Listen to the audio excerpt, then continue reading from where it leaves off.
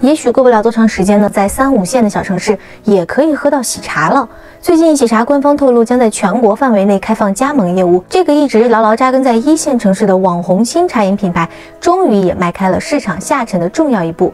值得一提的是呢，喜茶创始人聂云辰曾在二零一六年公开表示，喜茶不会开放加盟。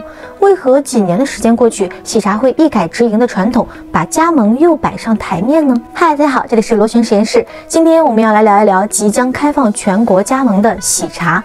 十一月上旬呢，有报道称，喜茶正在招聘与加盟业务相关的岗位，或将开放加盟。有媒体从喜茶方面得到证实，喜茶已推出事业合作业务，将在非一线城市以合适的店型展开该业务，让更多用户更快喝到喜茶。那喜茶方面同时还表示，喜茶会对事业合伙人进行严格筛选和充分赋能，并将在品牌、产品、品控、食安、营运、培训、供应链等方面为事业合伙人提供支持。那值得一提的是呢，喜茶曾经是新茶饮品牌中坚持直营模式的代表。喜茶创始人聂云辰曾在二零一六年对外表示，喜茶不开放加盟。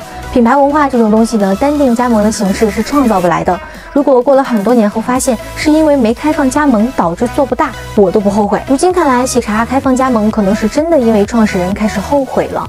今年以来，新茶饮市场厮杀惨烈，也迫使很多品牌都开始积极求变。而从直营走向加盟呢，则是一条已经被验证过的成功路径。代表品牌就是今年冲刺上市的蜜雪冰城。根据蜜雪冰城的招股书显示，其目前在全国范围内超过两万家门店，二零二一年营收达到了一百零三亿元。其中加盟商贡献了超过百分之九十五以上的收入，其中食材占了百分之六十九点八九，包装材料占了百分之十七点一九，设备占了百分之六点七二。如此傲人的业绩，也必然让其他新茶饮品牌看得眼馋。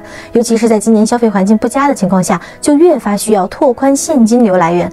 从喜茶开放加盟的条件来看，普通人想要成为喜茶的事业合伙人，可能并不太容易。根据喜茶公布的事业合伙细则来看，想要成为喜茶的加盟商呢，费用。除了首次需要一次性缴纳四十一点三万元外，此外每年还需缴纳两万元系统运营使用费，以及每三年五万元的单店合作服务费。如果再算上房租、人工、装修等隐形成本，加盟商前期至少需准备五十万元以上的投入资金。此外，门店在正式营业后，如果月总实收金额满六万，喜茶还将从中抽取百分之一的分成。从品牌角度来说呢，开放加盟可以快速拓店，增加总体营收，不过也意味着会牺牲一定的。服务质量和产品品质，比如之前蜜雪冰城的不少加盟店中就曾爆出过卫生不合格等问题。一直以高端茶饮品牌示人的喜茶，在开放加盟之后，能否继续保持原有的品牌形象，还需要时间检验。好了，这是螺旋实验室，我们下期再见，拜拜。